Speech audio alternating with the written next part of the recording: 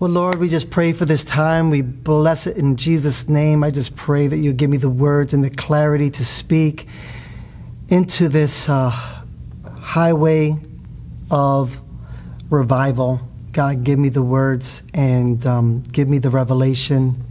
May I preach it with clarity and understanding, and may those who listen be revived and be encouraged in Jesus' name. Amen.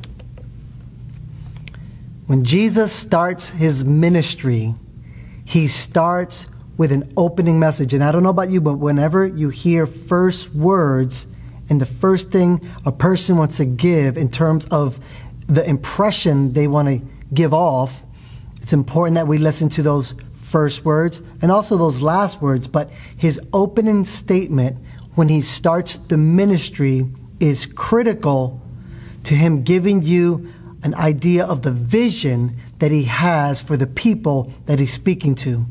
So when Jesus starts off with his opening statement, his opening statement is actually a destination. He wants to take us to a place and he wants to share up front what that destination looks like and how to get there. The words that he uses is repent. The kingdom of God is at hand.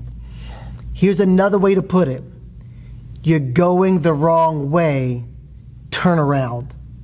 Go this way. And the way that he's taking the people that he has a vision for, a message for, he's taking them into this place where he says it's the kingdom of God. Another way I want to frame that is that the kingdom of God is revival. It's revival. It's the place where you experience life at its best. Life for what it's meant to be. The kingdom of God operates differently than the kingdom of the world. And that's why Jesus said, repent. You're going the wrong way. The destination I want to take you is this kingdom of God. But first, you have to pump the brakes. You have to stop and take a U turn and go in a whole different direction. Now, I've been talking to you in these last couple of weeks about us getting to this Isaiah 35 8, this highway of holiness, or another way I'm going to put it is the highway of revival, which is in essence what the kingdom of God is all about. We had to start on the right road before we were able to turn a right and then merge to this and then finally get here where now I want to talk to you about something I'm excited about and that is this highway called revival. But just to trace back our steps, if you've been with us for the last couple of weeks, we started on a road called repentance. Do you remember that? We started in that place of brokenness for what is broken. That's where we started. But then after that, we were able to turn on the street of restoration. So we turned there, and now we were beginning to rebuild what was broken. And then after that, we merged on from restoration onto this reconciliation. And reconciliation is now becoming one and, and doing things that make the matters right. So we were doing all that to finally arrive at this place where we're able to turn onto this highway called revival. And so I'm going to take this time with us today to just really break that down of what does revival look like. The revival that a lot of people assume whenever we mention revival, they come up with these assumptions that revival is just a service that we have. Like we go to church to go and have a revival service. So they classify revival oftentimes as an event or a moment in time. And uh, so I, I, feel like that's a limited construct that's been created that has us thinking we have to get to a certain physical place in order to experience this revival. I believe revival is a place, it's called the kingdom of God, but that doesn't necessarily have to exist in this church or at a convention center or wherever you will uh, wherever you're looking to attend, that revival just exists in that. Where when Jesus announces that the kingdom of God is at hand, it says it's within your grasp, it's right before you. All you need to do is turn around and you will begin to see and comprehend this revival I have for you. Now, when Jesus was speaking these words, he wasn't speaking those things um, saying, Come to where I'm at, like in the synagogue, because I'm going to announce these words to you. Wherever he went, he made announcement the kingdom of God is at hand, or it's right here, or it's present for you to grasp. So the church revival is not a church event, it's actually a governmental system. Let's talk about this a little bit. It's not an event, it's a system, and it's a governmental system which is the kingdom of God. The kingdom of God is a governmental, it's the way that God operates. It's the systems, it's the procedures, it's all the, the atmosphere, it's a certain atmosphere that's found in the kingdom of God. So it's a system, it's a, a governmental system, if you will. And I think that's important because a lot of what's happening now and what we, what's kind of the hot topic is how systems are broken and I would agree, the systems of this world are broken. I think the systems of this world are limited and they're temporal because they've been created by man. Where the kingdom of God, because it's God's kingdom, it's an eternal kingdom, and it isn't broken because it's been created by the Holy One. God Himself exists in this system. God Himself has put this system into operation. When Jesus arrives on the scene, He announces the kingdom of God is at hand. It's his opening statement. It's the destination he wants to take us to. And I want to make that an interchangeable term, this kingdom of God. Think kingdom of God, but also think revival. Because revival is what exists in the kingdom of God. If you just want to simply define it and look it up, you can look it up. Revival is returning something that has been dead or dying and it's bringing it back to life.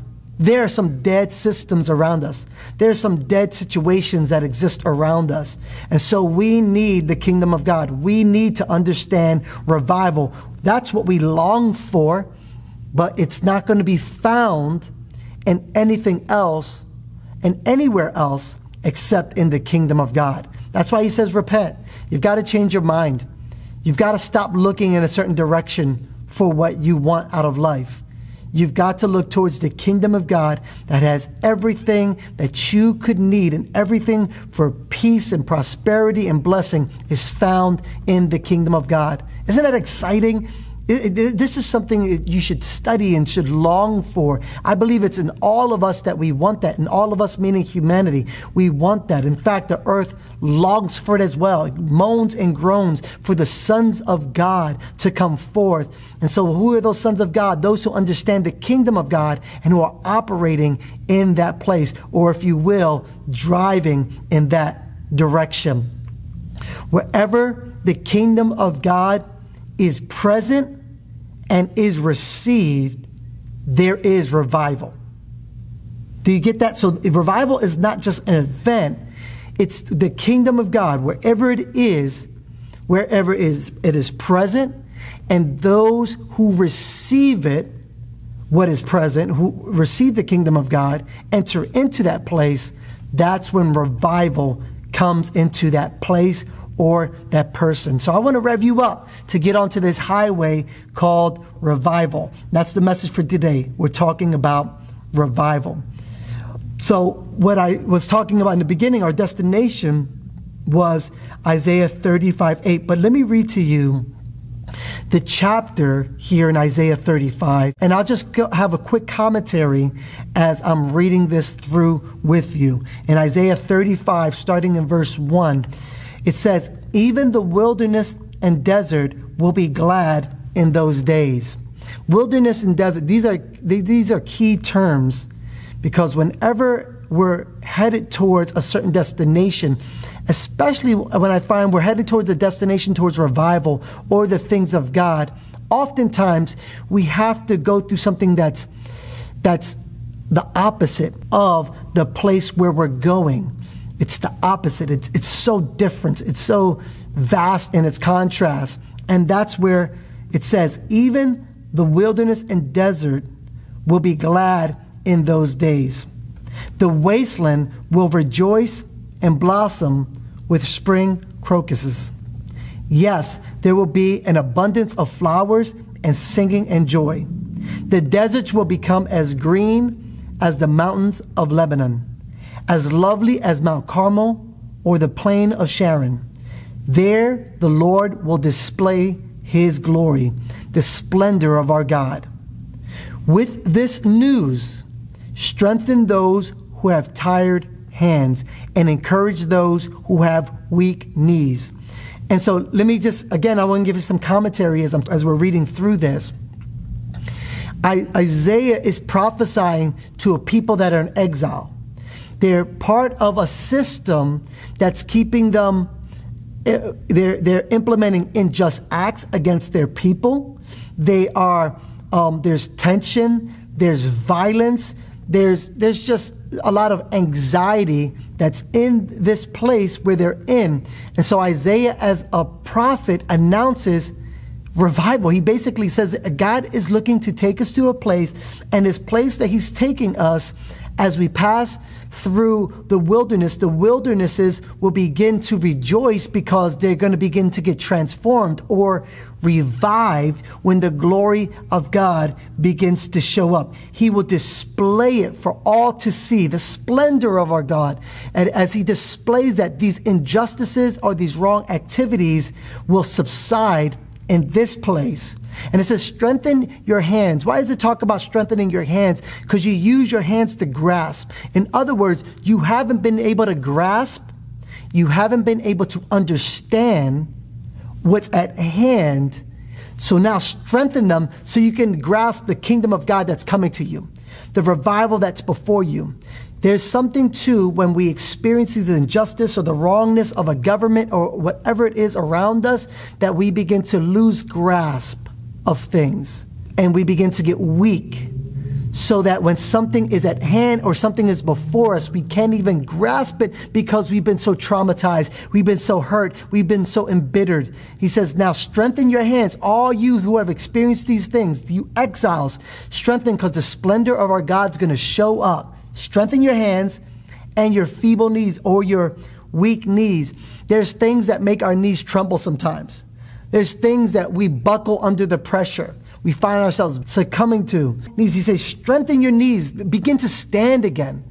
Begin to be attentive again so that you can begin to grasp what I'm bringing before you. Strengthen your weak hands and your feeble knees, is what the scripture says. It says, Say to those with fearful hearts, Be strong and do not fear, for your God is coming to destroy your enemies. That's, this is good news. This is revival. This is the enemy has been oppressing us. The enemy has been doing a bunch of things, whatever and whoever that enemy looks like in your life this is like part of that promise is that promise is I'm coming with my splendor and my glory, even in the midst of your wilderness, so that your wilderness is going to rejoice or the land is going to act differently to how it's been acting because God is showing up. He's going to revive the land, and that revival is going to look like your enemies are no longer going to be uh, over you or destroying you, but God is going to deal with your enemies. How he's going to do that, that's up to God. We just know when he comes, that's what he does. He deals with the injustices and the hardships that we face. And he says he is coming to save you. Save you. He's going to rescue you. You don't have to wait for like a Superman or, or whatever, somebody from Marvel.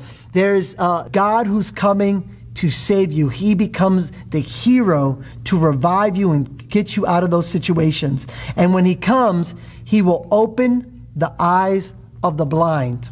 So, those who couldn't see, whether that's physical or spiritual blindness, now they're going to be able to comprehend and see and unplug the ears of the deaf, whether that's spiritually or physically, he unplugs the ears of the deaf. The lame will leap like a deer, and those who cannot speak will sing for joy. Springs will gush forth in the wilderness, and streams will water the wasteland. The parched ground will become a pool, and the springs of water will satisfy the thirsty land. Marsh grass and reeds and rushes will flourish where desert jackals once lived. I think it's so important because there's something to the land that we live in. And for the people of God, when they heard this news, it was as if we were hear, hear the news that there was no more drug dealing on our streets. There was no more violence. There was no more um, uh, immoral activity happening in our streets. It would be equivalent to saying that. And if you were to hear that God was going to do that in the streets, whether you're from Philadelphia or wherever you're from, wouldn't that be news that would just cause you to be like excited and shout for joy? This is the kind of announcement that he was making. This is what revival is like. Revival is like those things around you that haunt you, those things around you that are dark and diabolical. Those are things he deals with upon the time of revival. And it says, and a great road will go through that once deserted land. It will be named the highway of holiness the highway of holiness or the highway of revival. Evil minded people will never, never travel on it. And that, like, that's amazing if we can just like listen to what he was announcing, the prophet Isaiah announcing to the people that this highway of holiness, this is what's going to happen in the land. Evil minded people, people that are again looking to take advantage of others, that are looking to harm those who are innocent, they can't travel on it. That's not the direction that they're going. God's not going to allow them there. He says, it will only, it will be only for those who walk in God's ways. Fools will never walk there. Isn't that good? Like that, that this road, this highway, you don't have foolish people, you don't have evil minded people, you don't have any of that stuff. The only people there are the people of peace, the people of revival, people filled with joy and excitement and are doing the right thing. That's this road or this highway that he says he is making a way for. It says, Lions will not lurk along its courses, nor any other ferocious beast. There will be no other dangers. Only the redeemed will walk on it. Those who have been ransomed by the Lord will return. They will enter Jerusalem singing, crowned with everlasting joy. Sorrow and mourning will disappear, and they will be filled with joy and gladness. Man, I hope these are not just words to you, but these produce, these words produce imagery and God given imagination of what He desires his people to enter into so that hope begins to spring up and that you will long and contend for being on that highway of holiness that was described in Isaiah 35. It's a highway because a lot of obstructions are eliminated so people can accelerate it, go fast, and be free and, and, and just uh, not be obstructed from traveling or moving forward. This is a great picture of revival feels like and looks like found in Isaiah 35. But in order to get to that revival highway, a lot of people don't realize sometimes we have to pass through wildernesses. Oftentimes, we travel through wilderness pathways until we get to the holiness or revival highways. That's why before we even get to this place of revival, I had to talk about Repentance Road because that's kind of the experience. That's like a, a wilderness experience. It's dry. It's it. There's broken things there. It's hard there, and and then we get to Restoration Street. All those different places from there to Reconciliation. It can feel like a wilderness. There's not a lot springing forth, not not a lot happening, but there's something you're developing as you're passing through the wilderness that prepares you to get on the highway of holiness. It's why Jesus announces, repent for the kingdom of God. You've got to change your direction. You have to go through a wilderness activity. Let's, let's turn from that. Let's go in the right direction so that you can experience the kingdom of God or revival. In, in Matthew and also in Luke, it talks about when Jesus, before he gets into the ministry where he's even given this message of revival or the kingdom of God is being preached, it, it starts off where there's some other things he has to work through before he begins to talk about and begin to propose to people and give them access into the kingdom of God or revival's highway. And, and I think it's important to understand his journey so that we can understand like maybe our journey and getting to this point and the understanding we need as we begin to get onto this highway called revival. In Mark 1, it says, The beginning of the gospel of Jesus Christ, the Son of God, as it is written in the prophets. It says, Behold, I send my messenger before your face who will prepare your way before you. The voice of one crying in the wilderness. Prepare the way of the Lord, make his, his path straight.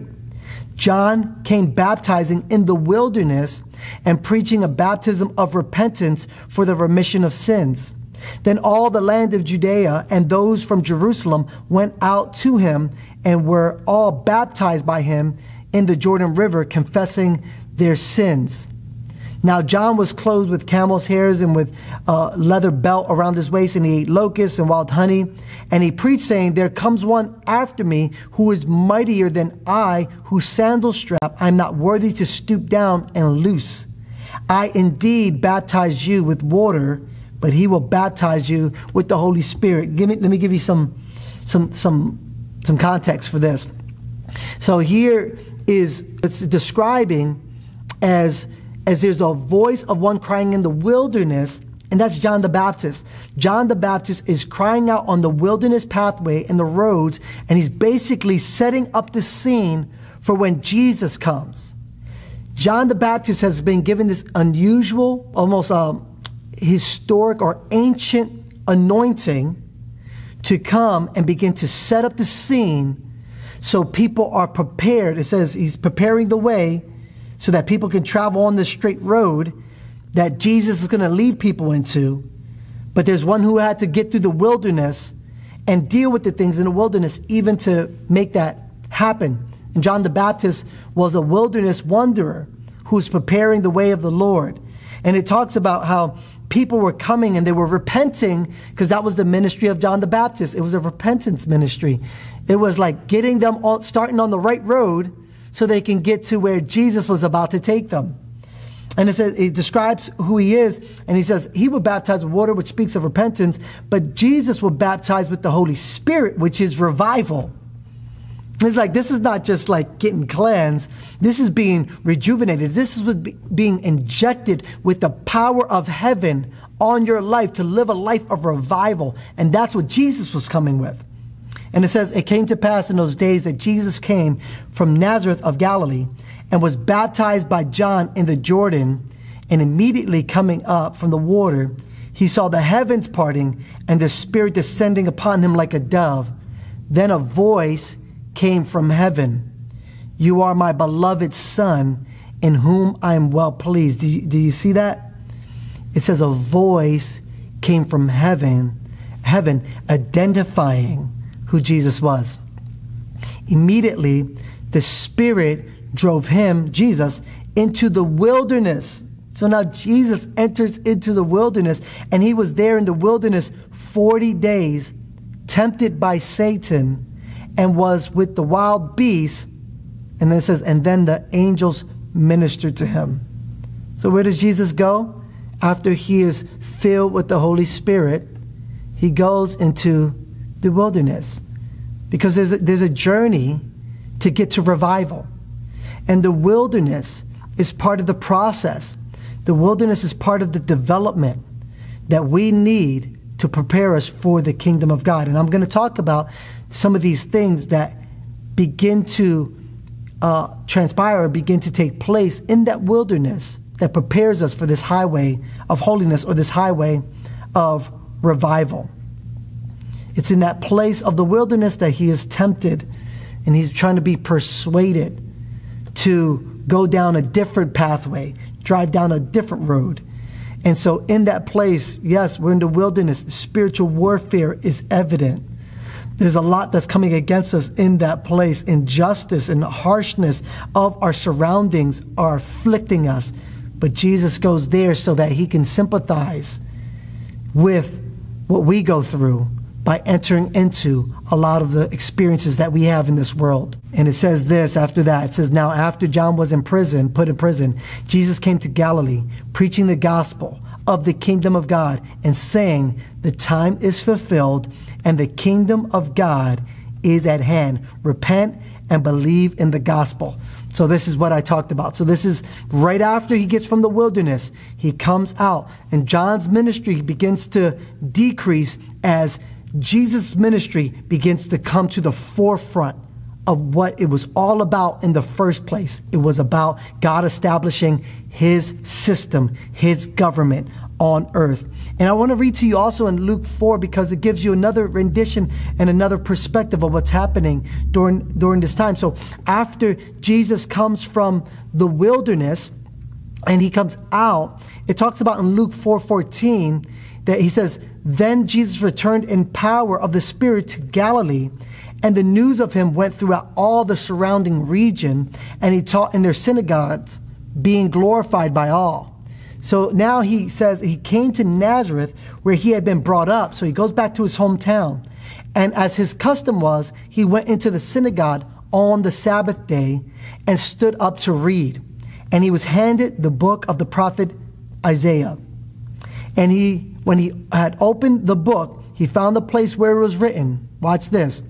The Spirit of the Lord is upon me because he has anointed me to preach the gospel to the poor. He has set me to heal the brokenhearted, to proclaim liberty to the captives and recovery of sight to the blind, and to set at liberty those who are oppressed, to proclaim the acceptable year of the Lord.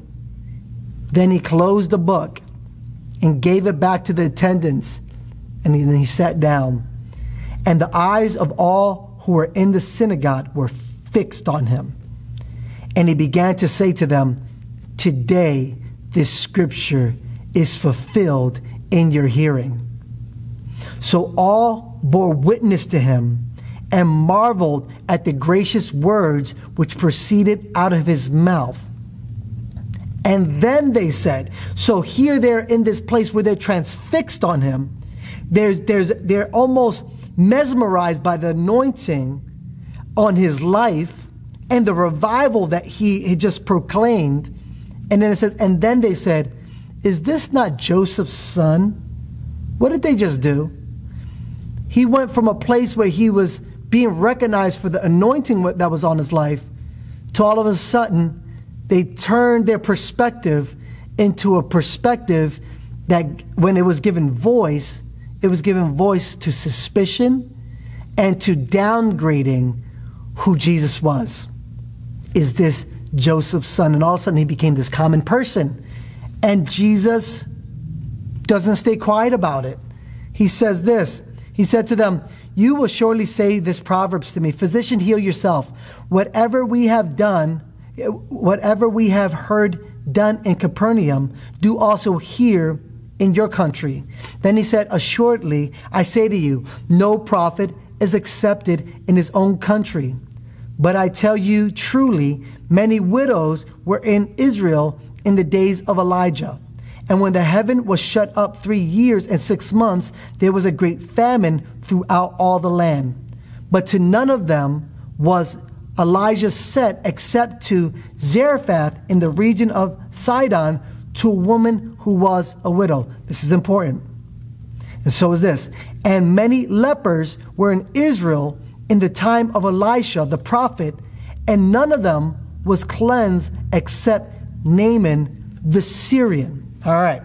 So, a, a, lot of what I'm doing here is I'm just kind of setting the scene a little bit to talk to you about revival and what that looks like because here is Jesus when he announces before the synagogue after passing through the wilderness, after, after achieving the blessing uh, and the endorsement of God after he was baptized, after doing all those things, he comes before this anointed authority of those at the synagogue and these priests, and he comes with the spirit of revival. The spirit of Jesus is the spirit of revival. Remember that. The spirit of Jesus is the spirit of revival. And he comes out of the wilderness and he announces what's on him. through Isaiah, through the documented scriptures. He comes out and he says, he says, Are you guys, it's like, he, he doesn't say this, but he should have said this. Are you guys ready for this? Are you ready for what I'm about to announce and bring to you? He, he goes to the he goes to his hometown he goes to his people he goes to his family he goes to the people that, that have seen him and his upbringing. He goes to that place and he chooses that place to give this speech that what is on him is the spirit of revival. How do we know the spirit of revival is on him? Because of this. It says i've come to preach the good news to the poor. What's the good news to the poor? You don't need to be poor. That's revival. He says you who are poor don't need to be poor that's revival. That's good news, right? He also says brokenheartedness. He's going to preach to the brokenhearted. He basically says your brokenheartedness towards the, to whatever the system or what people have done to you doesn't have to be terminal. Because the spirit of revival can bring back you back to the life and it can mend that broken heart. He says, uh, the spirit of revival is you don't have to be blindsided anymore. I, I'm coming to heal the blind. You don't have to be deaf anymore. I'm coming to heal those people who can't hear. That's the spirit of revival. Not only physically heal them, and I want to make sure I emphasize that because when there's revival, those who are deaf and those who are those who can't see, those who have physical ailments, he goes right after those situations and brings those things back to life, brings them back into the order that the kingdom of God demands whenever the kingdom of God is received and is present.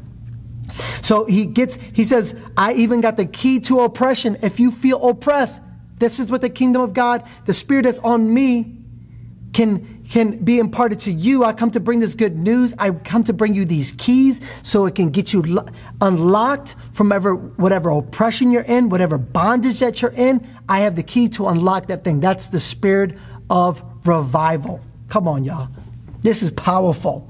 Jesus shows up announcing this. He comes out of the wilderness saying the kingdom of God is at hand, it is present, and that you've been approved.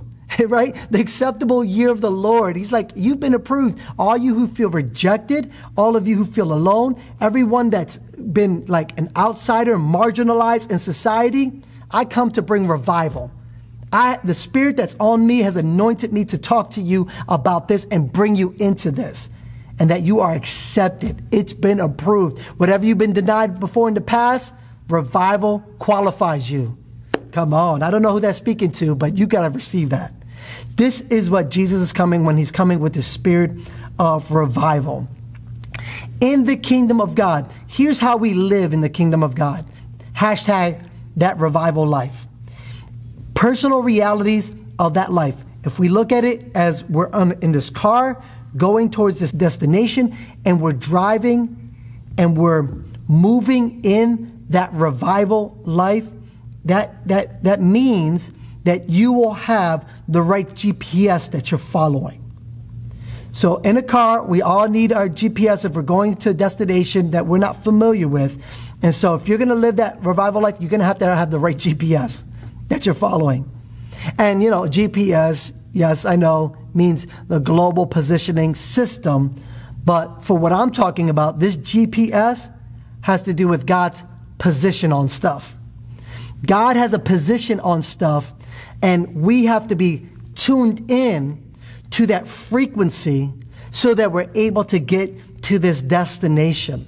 Because there's a frequency in which God speaks that if we're not on that frequency, we're gonna we're not gonna be going in the right direction. That revival life is by being tuned into that frequency. Watch this. So I read to you these scriptures, right? I read to you that here is John the Baptist, and when he baptized Jesus, what does Jesus hear? He hears the voice of God. And as he hears that voice of God, approving of him before he does anything, accepting him before he does anything, he goes into the wilderness. What does he do? He gets away from the voices of the people. He separates himself from society and culture. Why? Because I believe he's trying to tune into and become over familiar and, and, and learn the distinct voice in which God speaks. He's tuning into the frequency and he's not going to tune into all these other channels because people's voices can be a frequency a lot of us are tuned into if we're not careful, that cause us not to travel that road or, or experience revival like we should experience it because we're not tuned into the right frequency. If you're going to live that revival life and you're going to go on that highway of holiness, you need to have the right GPS. God's position on stuff. What's God's position on stuff? I'm sure in the wilderness, this is what's happening. How, how am I sure? Because then Satan comes to tempt him and Satan speaks to him. And when Satan speaks to him, Jesus speaks back to him, not what the people think about what Satan said, not what he thinks about what Satan said. He says, It is written. Basically, saying, I, I know the documents and I know the voice of my Father. And you're trying to bring a different GPS. You're trying to get me go, going in a different direction with this temptation of turning this stone into bread, with this temptation of throwing myself off this temple and that the, uh, uh that the angels will catch me. Uh, you're trying to get me to bow down to you. You're trying to do all these things. And what Jesus is doing in that wilderness, it's a time where he's tuning into the frequency of the voice of the Father. What frequency or what GPS are you listening to? How are you navigating? How are you riding? How are you moving throughout life? Is it by people's voices that you're being guided? Do you know God's position on stuff? Or is it more the people's position on stuff? Because, you know, the people's voice will, will culturally resonate with you. So Jesus had to make sure, and I hope this speaks and you can translate this for your own life, but Jesus had to make sure that he was tuned in so much to the voice of the Father and what God was saying and what his position was on things that he wouldn't mix up his identity or mix up his assignment or calling. Because Jesus wanted to live out that revival life. He wanted to stay in that place where my, this is my son, who am I well pleased. He wanted to stay in that place of pleasure. So he tuned into the voice in the wilderness later on in the ministry, there will be temptation for Jesus to become the people's Messiah. And the people would come up to Jesus and they would say, Aren't you the Messiah? And they believed, and the, the culture believed, that the Messiah had an obligation to destroy and conquer their opposition. That was, that was the people's understanding of the Messiah. Jesus was the Messiah, but there was going to be voices that he was going to hear later on that were going to give them their cultural perspective on how they should go about revival or the kingdom of God or living this life on this on this earth. If you're the Messiah, why don't you do this? Everybody had a voice, and if Jesus doesn't tune into the frequency of God, into the voice and what his position is on things, he can fall into temptation and get himself out of that revival or get on the crash on this highway of holiness because no evil-minded person, no person who has a different agenda than, than God's agenda can exist on that road. So Jesus sets himself apart to hear the voice of God. That revival road or revival highway is about hearing the voice. Do you hear the voice of God? Do you understand what the, the Spirit of God is telling you and prompting you? Have you set yourself apart and overcome the wilderness? Because the wilderness is the process that we all go through to determine whose voice is navigating our lives. Woo! So not only the people's voice and the cultural things that would resonate with the culture and potentially resonate with Jesus because he had been a part of the culture for 30 years, he also had to make sure that his GPS that he was being guided by wasn't Satan's voice. Because Satan's voice is that voice that sounds right spiritually, but doesn't reflect the nature of God. See, there's a lot of things that come at us, and we think it's spiritual, and it sounds spiritual because it's spiritual, it's right. And we can be attempting to get to the right place, and we can do it the wrong way. And this is exactly what Satan was doing when he was tempting Jesus in the wilderness. Jesus was so tuned in, right? That Satan comes in. He's like, let me give a shot because he's not, you know, he, he is quarantined. He is detoxed from the voices of people out in this wilderness. But I'm going to come with my kingdom agenda. And he comes and he begins to tempt him the same things that he tempted Adam and Eve with, the same things that he tempted the, the children of Israel with. Now, Jesus was facing the same temptation in a similar wilderness. And he uses his voice and he begins to say things that spiritually sound right, but don't reflect God's nature. Why don't you turn this rock into stone? Why don't you replenish yourself if you're God's son? You know, if Jesus would have said, you know, my opinion on that, that spiritually sounds right because I'm starving and I'm pretty much done my fast. I'm, do- I'm done my 40 day fast in this wilderness. That's what Satan shows up in his moment of weakness.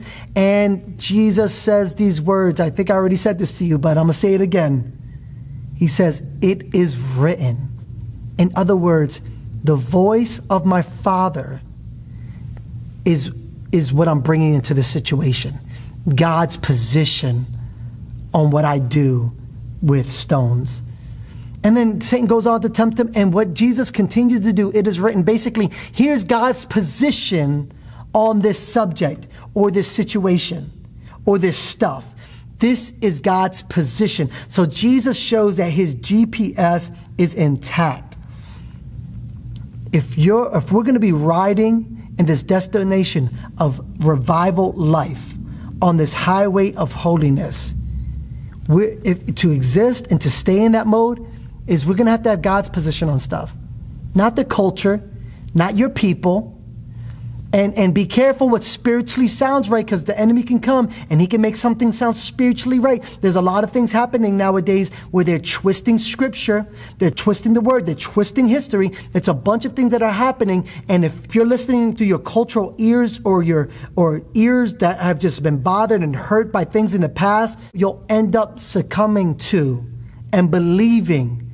And now revival is lifted off your life the revival that brings peace and prosperity and blessing and God's and, and God's presence into everything that you have, own, and are gets lifted. So that revival life is about having the right GPS, but it's also about you getting an oil change. If you're going to do this revival life right, you're going to have to get an oil change. Meaning you're going to have to understand how the anointing works. I think a lot of people get tripped up on when I think about this revival life is the frequency. They're not on the right frequency, they're on the wrong frequency, but they also don't understand authority.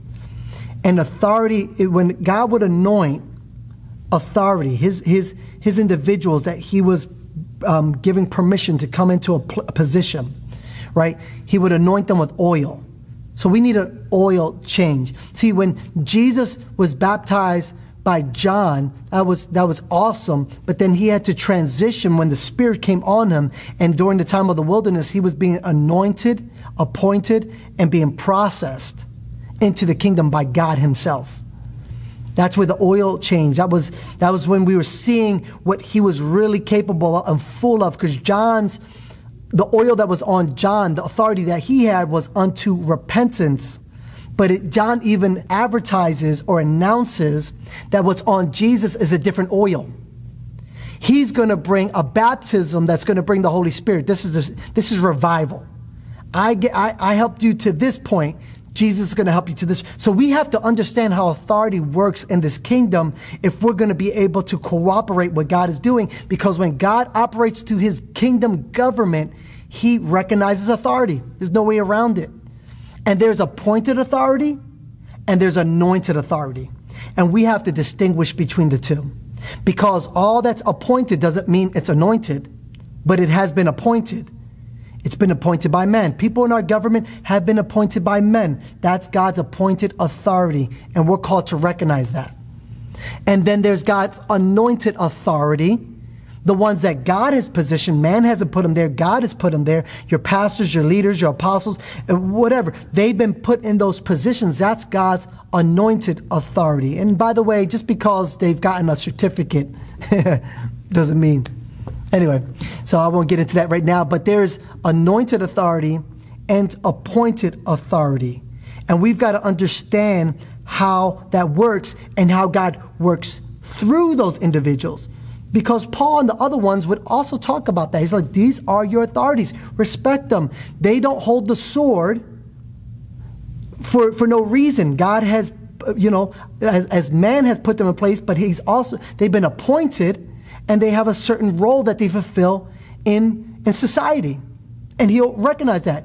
And there was unjust leaders that existed at the time, and God still asked them to submit, to, to learn how to obey and to and recognize and honor those authority. Even sometimes they're wicked. And I think we live in a world right now that revival is eluding us because we don't recognize authority, appointed or anointed. So here's an example. They try to trip up Jesus, right? They try to trip up Jesus and say, who do we pay taxes to? Who do we give our money to? And, and, and Jesus takes the coin and he says, what, what face is on it? And they say, Caesar's. He says, this. He says, you know, there's a, there, so he comes to bring the kingdom of God, but there's also a reality that there's kingdoms of this world.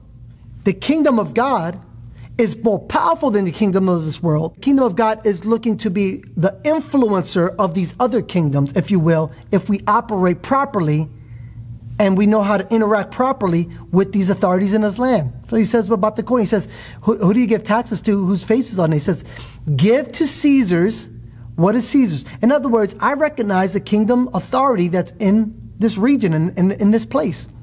But give to God what is God. He says these things can coexist. And in fact, these, these things, the kingdom of God is more powerful if you learn how to operate in it because in the kingdom of God is my anointed authority. So we need an oil change, y'all, because a lot of the oil that's on us is, is old, it's expired, it's, we're not going to get far. You know how our cars show the signal, hey, we need an oil change? We're, we're working off an old batch of oil and it's it's not going to help us in the journey that we have on revival's highway we've got to respond and think differently about how and we have to figure out god's position on stuff so when jesus stands up before the synagogue he stands up before god's anointed authority which were the high priests and the people that would have been there, not God's appointed authority. He doesn't come before the government and announce, hey, I'm the Messiah, I got the Spirit of the Lord on me. He goes before those who should be able to recognize what he's carrying God's anointed authority. You know, it's a sad thing? They didn't get the oil change. They didn't get the oil change. They couldn't recognize God's anointed and the new thing that God was doing. For a moment there, they were like, whoa, this is something different that's happening. But what do they do? They say these words, and it shows they, they changed their GPS. Isn't this Joseph's son? All of a sudden, their GPS is changed, and they don't got God's position on stuff, but they've got the cultural understanding of stuff. They found themselves in a different reality than the reality that Jesus was anointed to bring to the brokenhearted, to the oppressed, to the poor, to all, to all those people. And, and so they didn't get the oil change. We have to be careful that we are, are ill educated on the documents of the scripture. So we need to read this word, not just have a relationship and hear the voice of God, but understand and, and interact with those documents with the Word of God. That's what he does. He picks up Isaiah and he personalizes it. A lot of us, when we pick up the Word, we just read it, but we don't personalize it. Jesus was able to have the authority because he knew what to, how to personalize it and what was written in it and what to say about it and what was appropriate to how to bring it.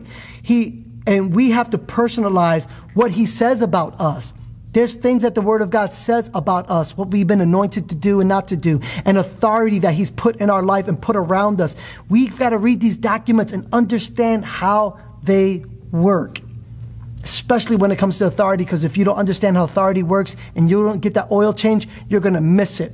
Because there's going to be anointed, authorized people that God presents before you, and because you're familiar with them, you're going to disregard them. Come on, y'all. There's, there's, there's an oil change that is needed if you're going to drive on this highway of revival or holiness. Now, last thought here is what drives the revival? Now that you're in that place where you've gotten the oil change, now that you're in the place where you're on the right frequency or your GPS is God's position on stuff, you got that right. But what drives revival is what Jesus said at the end when he was talking to the people who weren't receiving him and saying, Oh, you're going to say this, good physician, do this. And then he started talking about the widow and he started talking about Naaman. He shares something there that if you have an ear to listen, if they would have had their ears opened up and their eyes opened up, they would have gotten what Jesus was saying.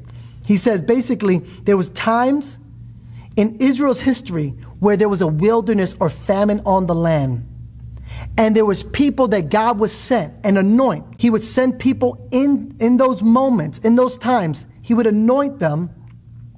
They had the authority to bring the kingdom of God, but there was people that wouldn't recognize it and they didn't receive it. So they didn't realize what was present and they didn't receive it. And so, although there was a wilderness and injustice and harsh situations around them, uh, many people couldn't rejoice. And many people didn't escape the reality of the culture of the time because they weren't, they didn't recognize when the kingdom of God would show up in their situation. But he said there's people who did recognize it he says, he's basically saying that the Pharisees and the, the people that are there, they're not recognizing what's before them. It's revival, it's the kingdom of God. He said, you know, this happened once upon a time. Let me give you a history lesson. There was a time where there was famine in the land. And out of all of Israel, the people that, that Elijah came from, and God anointed an Elijah to bring the kingdom of God, no one recognized him. So he had to go out to this widow from Zarephath to Sidon, this adjacent area. It wasn't like even one of them, it was a poor stranger who was a woman that recognized that what was on Elijah. In that trip, is like what drives revival is what's not what's missing here. This is what Jesus is saying. What drives revival is missing here. Here's a woman that was a stranger that was expected and when Elijah came and they got into that conversation, was also generous. She was poor. She was a stranger. She wasn't even like one of the people. And, she, and yet she was more expectant and she was more generous. And because that, she received what was present. And when she received what was present, revival came into her house. So, so she ends up being prosperous. She ends up uh, uh, thriving in the wilderness, thriving in a time of famine. And then he also gives another illustration if that wasn't good enough for them. So he's like, I, I, this poor lady did it, but also this pagan, rich commander in chief, Naaman from the Syrian army, who had leprosy, also received the kingdom of God that was present through Elisha when it came to. And what was Naaman? He came with gifts and he came with expectancy and the gifts and expectancy to what the authority that God had anointed and, and, and God positioned them, right? He, he was like, I want to hear God's position on stuff. And, and he came to Elijah with that type of expectancy and that kind of generosity. And as a result, he gets healed and gets restored. And this is what Jesus uses to talk about why revival is not going to be able to happen here why the kingdom of God is not going to be able to flourish here. It's not going to be because you guys are not expected. There's no expectancy for the kingdom of God. There's no desire and no understanding when it's present. And there's no generosity. You don't know how to give. You don't know, because we give to what we love. We give to what we believe in. We give to what we value. Whenever you see revival and it driving forward, you will see a people corporately that know how to expect and know how to give. I, I kid you not, do your own study, get into the documents yourself. They are giving generously and they're expecting eagerly. That's what drives revival. That's what I, that's, that's the, the heyday of our ministry in churches. And I show other ministries when they can trace the time where they were at the apex of the ministry, when God was doing the most, when they were living that revival life. It was an expectant people. They didn't come in thinking about what time is this over. They didn't come in thinking like, oh, just another day at church. They came in expecting today is my miracle. Today I gather with the people of God in the presence of God. This is, this is not something I treat as common. This is not something that is familiar to me. This is my highway of holiness. I'm driving towards something. I'm, I'm moving towards something and they're expectant for it. They honor what they're a part of and they're giving generously to it, not just the first time, but the second time and the third time and each, each time they come back because they're living that revival life. I don't know about you, but I, am there's, there's people who are missing it. There's people who are missing that revival life or the highway because they're not tuned in to the frequency in which God speaks. They're hearing a lot of other voices, but not his voice distinctly. And they're not understanding God's anointed authority. if they did, they would come expectant and they would come generous, ready to give. And this is what it looks like to drive on that road or that highway of holiness. I want to I want to rev you up for what the highway of revival is all about. All those things I described as we read Isaiah 35, 1 through 10. All the things that are on Jesus to bring revival. He says, The Spirit is upon me. I'm an anointed authority to bring all this. That's revival, y'all. Is where things that are broken don't have to be broken because the kingdom of God showed up. It's where people are, are healthy and whole and they're not suspicious and they're not angry and they're not feeling like victims, but they know that they're overcomers because of the spirit that's on them is an overcoming spirit that takes them out of oppression. The spirit of Jesus is the spirit of revival. God, I want God to bring revival in our land. And where does He do it often? In the wilderness. He does it in the wilderness. We, we obtain what we need to obtain in the wilderness so that the wilderness can rejoice before the gushing forth of water, of the spirit, of the power, of the justice, of the righteousness comes forth. How should you approach the wilderness? You, we get to our wilderness through repentance. I already talked about it repentance, restoration, and reconciliation. And that's telling us that we're on the right direction towards the highway of holiness. My GPS is headed towards that highway. And I want to encourage you and I want to invite you to, to know and to hear what Jesus has said and what his anointed authority says, even today. Repent. Start on that road, but let's go in this way we're going towards this highway of holiness where all the justice and all the peace is there and all the evil doing and all the hardship and all the pain and all the tears does not exist on that road or on that highway of revival. Come with me, y'all.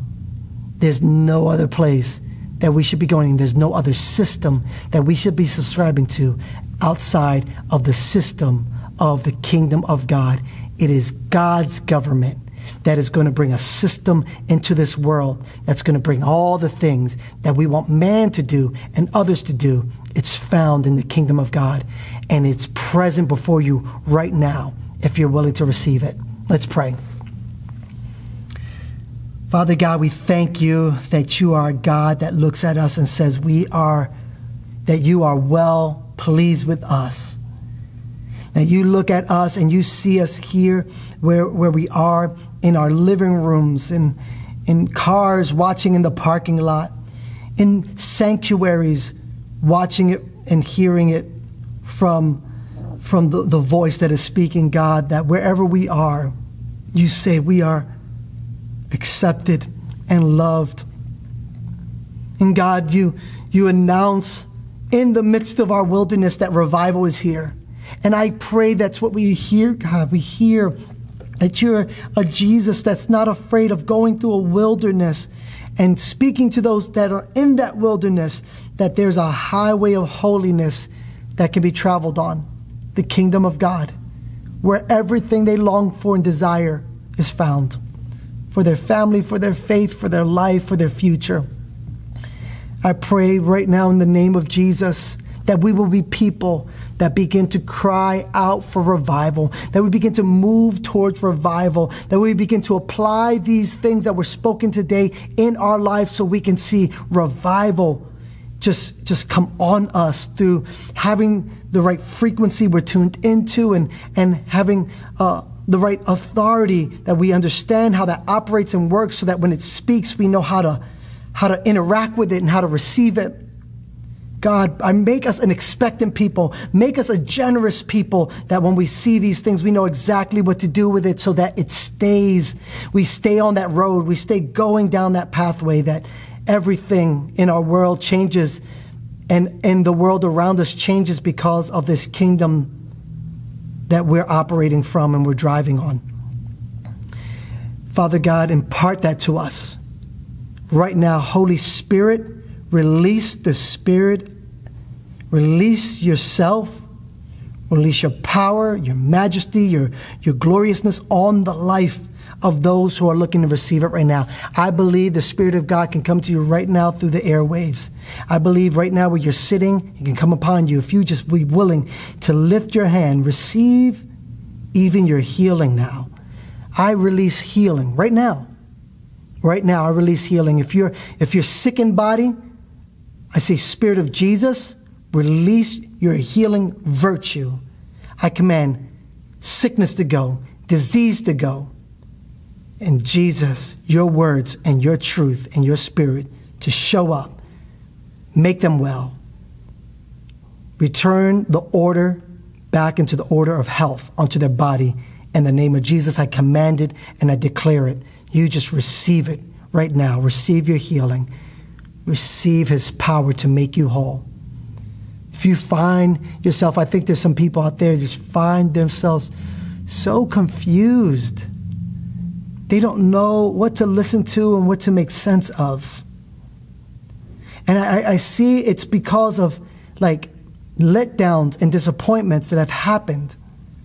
I see it because of the noise that you've been you've been tuned into that's causing you to not know what's truth and what's a lie, what's fact, what's fiction, whatever.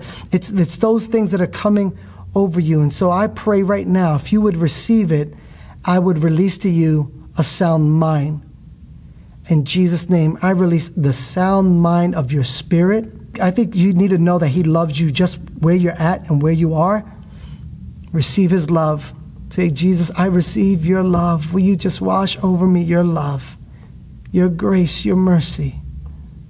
Receive that right now. Because right now, He's going to replace that anger and that hatred with His love. And He's also going to give you a sound mind that comes with the Spirit of God. I release that to you. That's the spirit of revival that you're experiencing right now. That's the spirit of Jesus. So I just bless all those who are listening. I bless their families in their home. Say, Jesus, do a mighty work in Philadelphia. Do a mighty work in that family. Do a mighty work in our lives. Bring revival. Bring revival.